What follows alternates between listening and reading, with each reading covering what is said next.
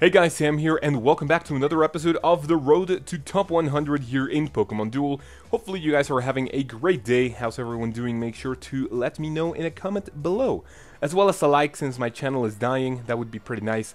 Anyway, here I have another exciting matchup for you guys, and this uh, is, I guess, a display of maybe not how to play against the Mega Mewtwo, but, you know, kind of uh, what you can do to uh, prevent the rampage that it can actually cause. Uh, no, it, you know, it doesn't really come into play until maybe mid-game. Uh, plus, this match is not really going to be that, um, you know, long.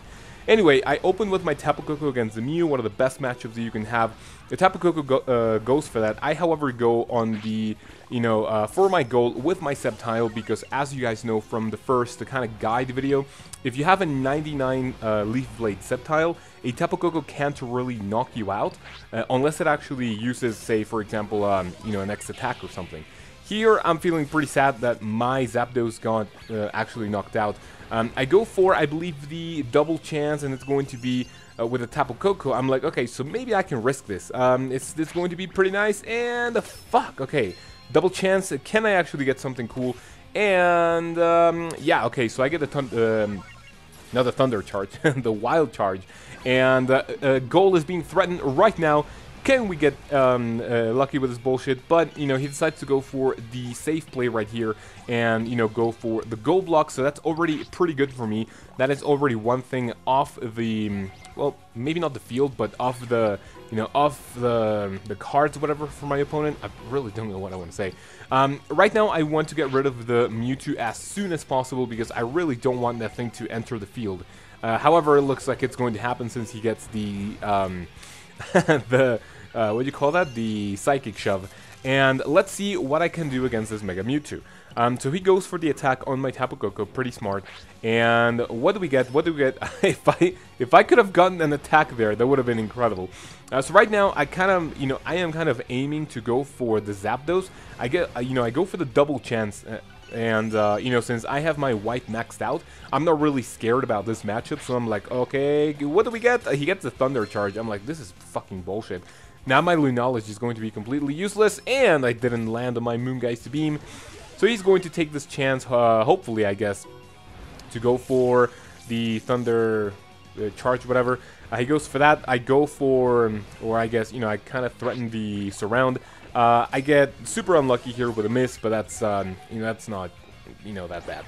Um, you know, since my Lunala is pretty useless right now, I kind of want to uh, wanted to make the most of it. So yeah, I go for the entry point. You know, I'm kind of uh, hoping to uh, get my Lunala knocked out because it's pretty uh, useless at this point. I'm like, you know, it, it's whatever. Um, you know, I knew that the plus 20 was going to come in handy, but I just want to uh, get some of these turns off the Mega Mewtwo just so I could do something.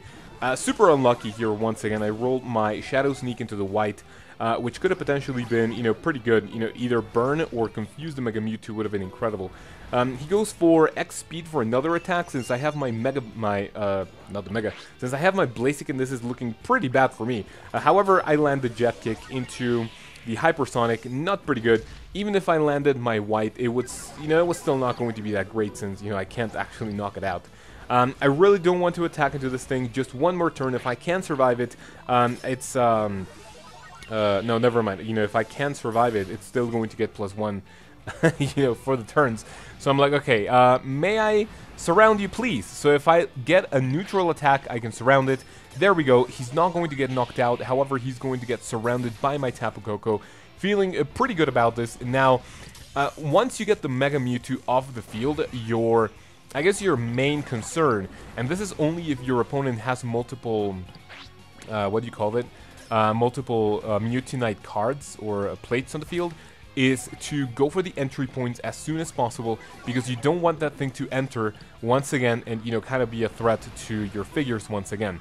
Um, this is the case uh, just for my opponent since he has two Mewtwonites, so uh, two more knockouts and it's going to be uh, Mega Mewtwo time once again.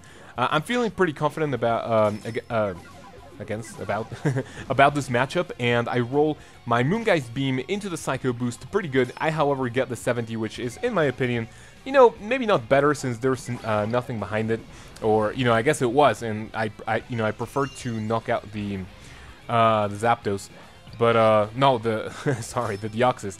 So he goes for neither since I land my you know, my psychic, and I'm like, okay, so this is pretty good. So what do I do? I hop, uh, you know, I hop over the Zapdos since he doesn't have a Go block anymore. He can't really surround my Lunala. I go for the attack since my Lunala is better than his uh, because of the 70, and I land the uh, Moongeist Beam into that shit. He tries to go for the Tapu Koko. Is he going to land the yellow into my purple? No, he's not, and that's going to be a great game. Um, kind of a shorter video than last time, but hopefully you guys enjoy this one. The next four are going to be pretty exciting, so hopefully you guys are looking forward to that. Um, and yeah, that's pretty much it. Make sure to let me know if you liked with a comment, like, and I'll see you guys tomorrow. Have a great day.